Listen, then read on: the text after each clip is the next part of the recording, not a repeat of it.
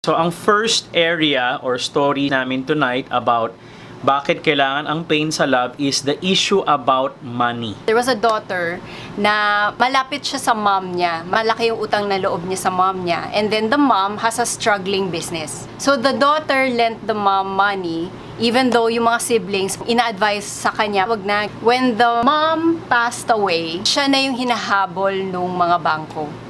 And then ngayon nagkakandara pa yung mga magkakapatid to figure out paano babayaran yung utang. Kasi syempre, hindi nila alam kung ano yung ginagawa ng mom nila dun sa pera. Itong case nung girl na to, of course, hindi naman masamang tao yung Oo. nanay niya.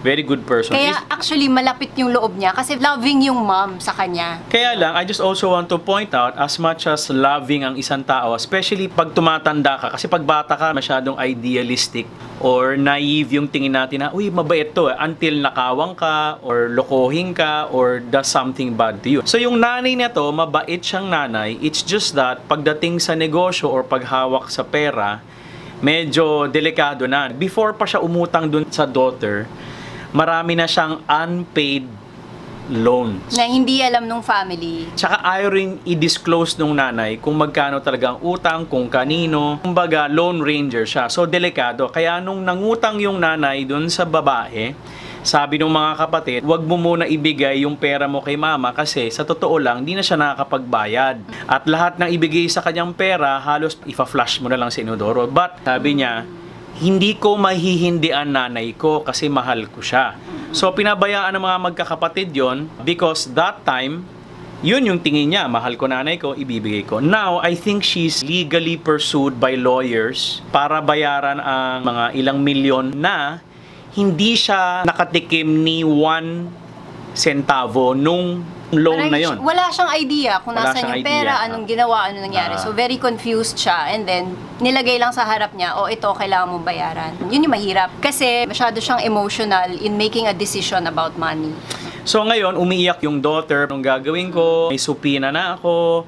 Hinahabol ako ng bangko. Now, tinanong siya nung kapatid, kung nangutang ulit sa'yo, si mama, kung buhay pa siya, ibibigay mo pa ba pera mo? Ang sagot niya ngayon, hindi na. Bakit? Anong nag-iba? Ang nag-iba yung pain.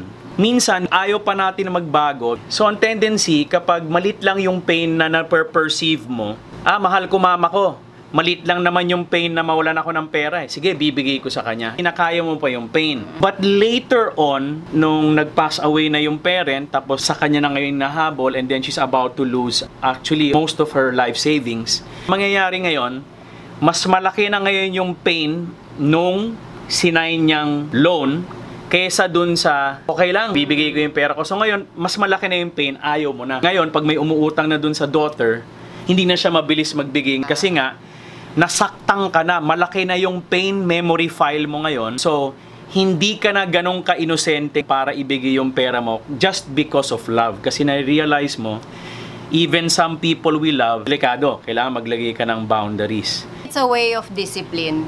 Kung sa bata, kailangan mo siyang paluin if they do something wrong. Pagdating sa mga adults, minsan life gives us palo Mm. and it comes in the form of pain.